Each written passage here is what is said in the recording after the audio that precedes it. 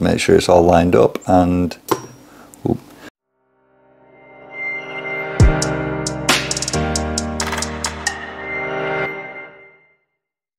This is a review for this La Tims 18 chef's knife. Um, it's absolutely fantastic. I'm going to show you the other knives that I've been using for years, uh, but compared to this, they are absolutely nothing. I thought they were really good. So the first thing to know about this is it's made of Japanese VG10 stainless steel. The other thing that's good about it, or that I like about it, is it's Damascus steel. Now basically, if you ever watch Forged in Fire, you'll know that the Damascus steel process is about having layers of steel that's forged together and it gives you uh, a pattern across it which is basically the, the layers of steel. It's also got a wooden handle that's riveted on, there we go. So I'm never going to put this in the dishwasher, that's for certain. Uh, but you do have to be careful when you're washing it because it's so sharp. And I'm going to show you how sharp it is in a moment. Right, okay. I'm, I'm just about to make um, a chili with baked beans instead of kidney beans because I don't like kidney beans. So I'm going to be doing some onions and I'll do some other bits and pieces just so that you can see how sharp this actually is. But it's well weighted. Um, it's an absolutely fantastic knife. I'll show you the other ones actually. So this is a set of knives that I've been using for about 20 years and the balanced ones and they are well balanced and it's a, a solid construction so you've got the tang that comes all the way through there. Um, I've just never never really had them sharp enough compared to this. I mean, they really are night and day. And this is actually a lot lighter than that as well, even though it's a bigger knife. Right, let's see, it. let's see how sharp it is. Right, so you can see the pattern on it, yeah? And that's a Damascus steel pattern, as I said, that comes from the actual forging of the knife. Right, so we'll just show, you see the hair on the back of the hand there. I go like that, that's how sharp it is. You can see it all there. Just pull it over to one side.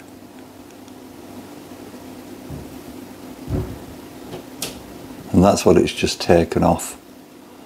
So a very, very, very sharp knife. Right, let's see it cutting some vegetables. Right, so let's get the onions done first. And it just absolutely, honestly, you, you hardly need to apply any pressure whatsoever. It just goes through. Just like that. And then you just run it and you can just drop the knife on and it cuts through without any pressure whatsoever. As I said, the knives that I've, I've been using for years are very, very sharp. You really do need to watch yourself. But the knives that I've been using for years, they're, they're sharp, but just in comparison, it's, it's absolutely like night and day.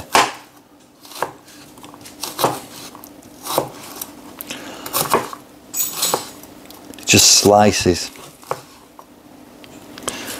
And the last one done. So we'll get the onions done.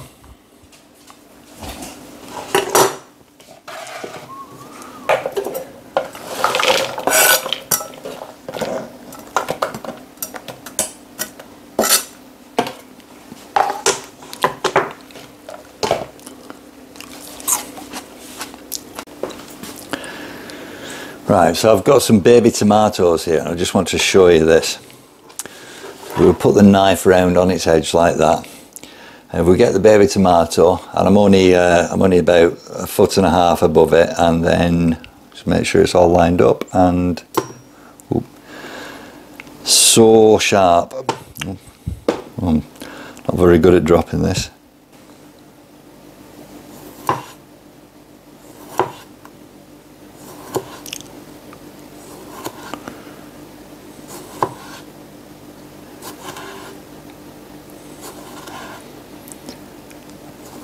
And there's just no way that I could do that at all with the other other knives. You see how thin they are? Perfect.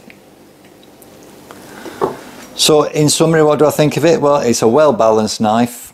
It's a little bit difficult because it's on the slope there. But well balanced, ergonomic, very easy to hold, extremely sharp. I was actually so impressed with it that within a week of buying it, I'd purchased a second one as a gift for somebody Um, yeah, I'm going to get quite a few years out of this. I'm looking forward to using it now. Actually, if you are buying it as a gift, you do get uh, a presentation case that it comes in. And the knife just sits in there. So, yeah, de definitely good as a gift.